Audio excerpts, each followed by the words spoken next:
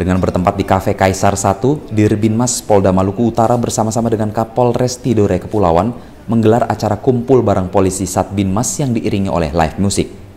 Selain acara kumpul bareng dan live music, digelar juga acara mendoakan para anggota Polri Densus 88 yang gugur saat bertugas di Makobrimob Kelapa II Depok. Selain itu, acara ini juga sebagai momen untuk menyampaikan pesan Kamtipmas kepada masyarakat dan menerima masukan-masukan dari masyarakat. Diharapkan para pengunjung dapat mengerti tentang maksud dan tujuan dari acara kumpul bareng polisi ini. Dari hasil ini, para pengunjung Cafe Kaisar bertekad ikut mensukseskan pilkada dengan menolak hoax, ujaran kebencian, dan mendukung Polres Tidore Kepulauan dalam memberantasnya. Pemilik Cafe Kaisar dan pengunjung juga sangat senang dengan adanya kumpul bareng polisi dan mengharapkan acara tetap diadakan secara rutin. Dari Maluku Utara, Satbin Mas Tribrata TV, salam Tribrata.